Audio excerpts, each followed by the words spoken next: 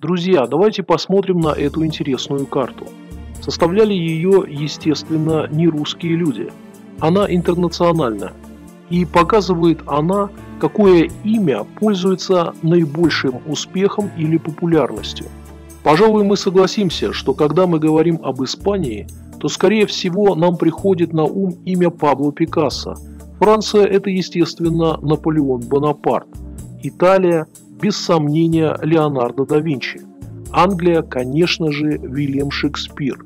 Но интересно, что на этой карте с правой стороны, где должна находиться Россия, написано имя не Льва Толстого и не Александра Пушкина, как многим кажется в России, и даже не Владимира Путина, а имя Иммануила Канта.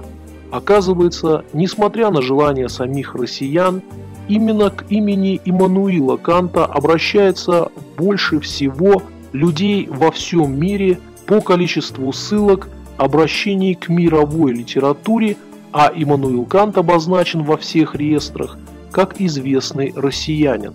Вот такая неприятность случилась с Кантом, известным немецким философом. Дело в том, что Иммануил Кант родился в городе Кёнигсберг – и, конечно же, он предположить тогда не мог, что этот город попадет во время Семилетней войны под российскую оккупацию. Известен факт, когда Иммануил Кант писал письмо Елизавете Петровне, надеясь, что новые российские власти будут не хуже немецких. Он, конечно же, ошибался. Письмо даже до нее не дошло. В письме он просил себе место профессора в университете – Период господства Российской империи над Восточной Пруссией, или, сказать проще, российской оккупации, был наименее продуктивным в творчестве Канта. За это время великий философ написал лишь несколько эссе, посвященных землетрясениям, и сразу же после окончания оккупации Кант издал целую серию работ – если, не дай бог, есть россияне, кому это имя ничего не говорит, я вам объявляю, это величайший немецкий философ, основатель и родоначальник всей немецкой классической философии. А немецкая философия насчитывает самое большое количество философов в мире. После его смерти образовалось течение, которое стало называться кантианство – этот человек был не просто философом, он был титаном мысли. Занимался метафизикой, естествознаниями, математикой и философией. Уже после российской оккупации в 1770 году в возрасте 46 лет, это очень молодой возраст для профессора, он получил кафедру профессора логики и метафизики Кёнигсбергском университете, и до 1797 года, то есть 27 лет, он преподавал в этом университете дисциплины философские, математические и физические. Одной из самых знаменитых книг Канта является «Критика чистого разума», а также «Способности к суждению». Он разработал и описал 12 категорий рассудка – единство, множество, цельность, реальность, отрицание, ограничение, причина, следствие, взаимодействие и прочее.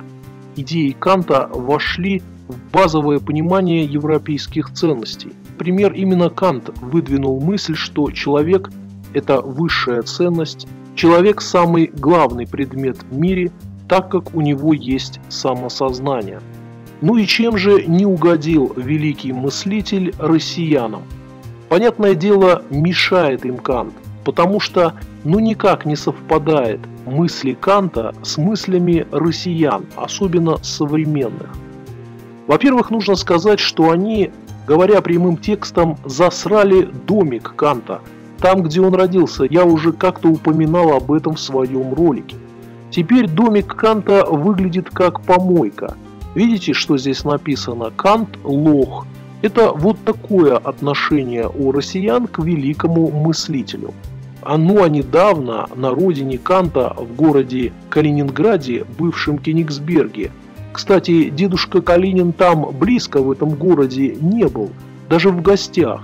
Но это не важно, там все так, знаете ли, с ног на голову. Так вот, в городе Калининграде решили переименовать аэропорт. И по несчастью, какой-то чудак выдвинул имя Канта. Ну, видимо, продвинутый. Посмотрел в интернете и сам удивился популярности Канта. Ну и соперницей Канта оказалась сама императрица. И вот когда число голосов за Канта вдруг на 2% превысило число голосов за Екатерину, появились вот такие листовки. Студенты Балтийского федерального университета. Хватит предавать родину. Вы учитесь в стенах, носящих имя врага. Окреститесь, православные крестом, от этого вражьего имени, от немца, народ которого принес нам так много бед. Кант предал русскую землю, которая приняла его, так откажитесь от его поганого имени, требуйте от руководства отказаться от него, срывайте таблички, вымарывайте чужое имя из своих документов. Покажите себя русскими людьми, а не выродками, забывшими свое отечество. Позор предателям, позор Канту, слава Руси.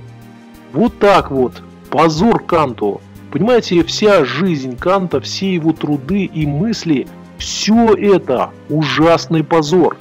Эх, ну вот не посчастливилось ему, родился он в городе, который все-таки перешел русским. Листовками дело не закончилось. Российские патриоты облили памятник Канта краской, поглумились над его могилой. Вот что написал об этом Игорь Яковенко. Могила сопротивления не оказала, как и ранее памятник, что доказывает превосходство русского духа над европейским разумом.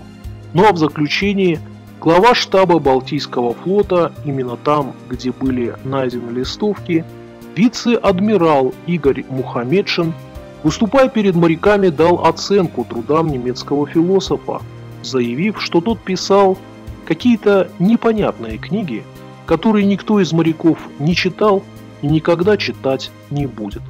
Обращаясь ко всем здесь стоящим, убедительный просьбы.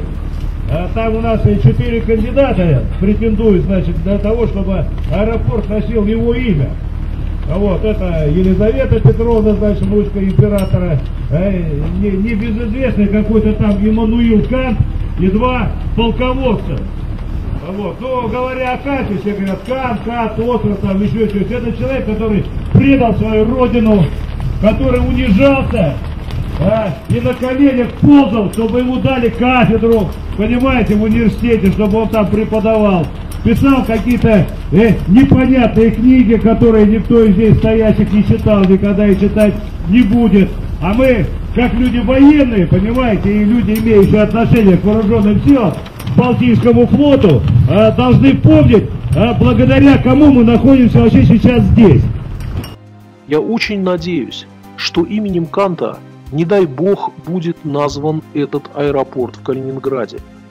Безумные калининградцы, безумные от слова «без ума», должны, конечно же, окончательно разрушить домик Канта, его могилу, снести его памятники и придать его имя анафеме, потому что они этого имени не заслуживают.